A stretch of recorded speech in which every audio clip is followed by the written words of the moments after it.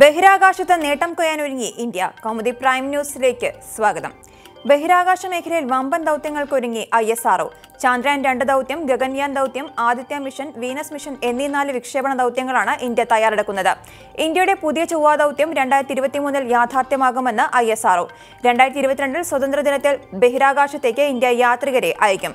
രണ്ടോ മൂന്നോ പേരായിരിക്കും പ്രഥമ ഗഗൻയാൻ പദ്ധതിയിലുണ്ടാവുക. കാലാവസ്ഥാ വ്യതിയാനം പഠിക്കാൻ അടുത്ത വർഷം പുതിയ ദൗത്യവും നടത്തും. ശാസ്ത്ര സാങ്കേതിക വകുപ്പ് മന്ത്രി ഡോക്ടർ ജിതേന്ദ്ര സിംഗും I S R O chairman doctor K. ശിവനും ചേർന്നാണ് ബഹിരാകാശത്തെ വമ്പൻ പദ്ധതികളുടെ പ്രഖ്യാപനം നടത്തിയത്. പതിനായിരം കോടി രൂപയാണ് പദ്ധതിക്ക് ചിലവ് കണക്കാക്കുന്നത്. ഗഗൻയാൻ പദ്ധതിക്കായി പ്രത്യേക സെൽ രൂപവൽക്കരിക്കും. ഗഗൻയാൻ ദേശീയ ഉപദേശക കൗൺസിലായിരിക്കും പദ്ധതിയുടെ മേൽനോട്ടം നിർവഹിക്കുന്നത്. ആറു മാസത്തിനുള്ളിൽ ബഹിരാകാശ യാത്രികരെ തിരഞ്ഞെടുക്കും. ഐ എസ് ആർഒ ചെയർമാന്റെ നേതൃത്വത്തിലുള്ള ശാസ്ത്രജ്ഞന്മാർ ബഹിരാകാശ യാത്രികരെ തിരഞ്ഞെടുക്കാനുള്ള നടപടികൾ ആരംഭിച്ചു.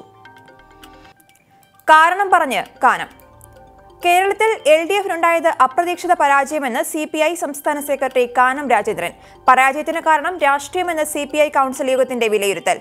എൽ ഡി എഫിന്റെ രാഷ്ട്രീയ പരാജയമാണ് ഈ തിരഞ്ഞെടുപ്പിലെന്ന് സി പി ഐ വിലയിരുത്തി. ശബരിമല വിധി നടപ്പാക്കുന്നതിനുള്ള ബാധ്യത ഏത് പാർട്ടിക്കുള്ള മുഖ്യമന്ത്രിക്കുണ്ട്. അത്തരമൊരു ഭരണഘടനാ സാധ്യത നടപ്പാക്കുമ്പോൾ വിശ്വാസമൂഹത്തിൽ ഉണ്ടാകുന്ന പ്രതികരണം മുൻകൂട്ടി കാണാൻ കഴിഞ്ഞില്ല എന്നും കാനം. വിശ്വാസികൾ എൽ ഡി എഫിനെ വിശ്വസിച്ചില്ല. ഇത് സംബന്ധിച്ച് എൽ ഡി എഫ് പ്രചരണം ഏശിയില്ല. ഇപ്പോഴത്തെ തിരിച്ചടി താൽക്കാലികം എൽ ഡി എഫിനെ ശക്തിപ്പെടുത്തി മുന്നോട്ടു പോകും. കേരളത്തിലെ വിജയം ജനങ്ങളെ തെറ്റിദ്ധരിപ്പിച്ച് ഉണ്ടാക്കിയത്. ആറ് ഉപതെരഞ്ഞെടുപ്പുകളിലും സജീവമായി L D F രംഗത്തുണ്ടാകും. L D F U D F vote വ്യത്യാസം ഗൗരവമായി പഠിക്കും. ബൂത്ത് അടിസ്ഥാനത്തിൽ പരിശോധിക്കുമെന്നും കാനം. പതിയിരുന്ന ദുരന്തം. അരുണാചൽ പ്രദേശിൽ നിന്ന് കാണാതായ വ്യോമസേനയുടെ എ എൻ തേർട്ടി ടു വിമാനത്തിലുണ്ടായിരുന്ന എല്ലാവരുടെയും മൃതദേഹങ്ങൾ കണ്ടെത്തി. വിമാനത്തിന്റെ ബ്ലാക്ക് ബോക്സും കണ്ടെത്തിയിട്ടുണ്ട്. മൂന്ന് മലയാളികളും യാത്രാ സംഘത്തിലുണ്ടായിരുന്നു. അസമിലെ ജോർഹട്ടിൽ നിന്ന് മെച്ചു മെച്ചുക്കയിലേക്ക് പോകവെയാണ് വിമാനം കാണാതായത്. സിയാങ് ജില്ലയിലെ പായും സർക്കിളിന് തൊട്ടടുത്താണ് വിമാനത്തിന്റെ അവശിഷ്ടങ്ങൾ ഇന്നലെ വൈകിട്ടോടെ കണ്ടെത്തിയിരുന്നത്.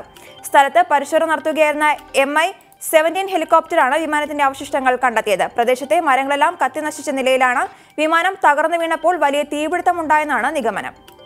ഇനി ഇന്നത്തെ മറ്റു ചില വാർത്തകൾ നോക്കാം. വാർത്തകൾ ഒറ്റനോട്ടത്തിൽ.